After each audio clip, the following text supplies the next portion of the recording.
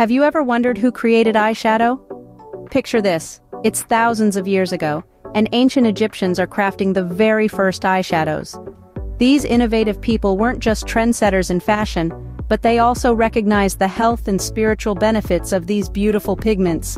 They crushed minerals like malachite, creating a vibrant green, and galena for a bold black.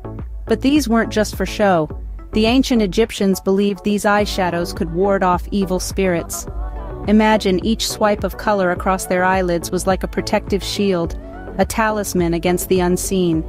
Even more fascinating, they also used it as a cure for eye ailments. They truly were the pioneers of the holistic approach to beauty. So the next time you put on your favorite eyeshadow, remember, it's an art form that has been perfected over thousands of years. From the ancient world, eyeshadow found its way to different cultures, each adding their unique touch to it. As we journey through the Middle Ages, eyeshadow served a purpose beyond aesthetics. It was a symbol of status, a way for the ladies of the court to silently declare their social standing. Yet, as we move into the Victorian era, eyeshadow's appeal fades. It was considered uncouth, used sparingly, and often hidden away. However, the Roaring Twenties brought eyeshadow back into the limelight. The discovery of King Tut's tomb sparked a fascination with ancient Egypt. This interest was reflected in the bold, vibrant eyeshadows that became popular during this period.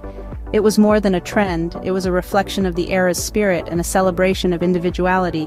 Whether it was a sign of status or an expression of individuality, eyeshadow has always been more than just makeup. Fast forward to the present day and eyeshadow has become a staple in almost every makeup enthusiast's kit. Now available in various forms, from the velvety powder to the smooth cream, the versatile liquid to the handy stick. And the color spectrum? It's infinite. You can play with hues from the subtlest nude to the boldest neon, not to mention finishes which range from understated matte to twinkling shimmer, rich metallic to sparkling glitter. Today, eyeshadow serves as a canvas for creativity, allowing individuals to express their style and personality. So let's take a moment to appreciate the long journey eyeshadow has made.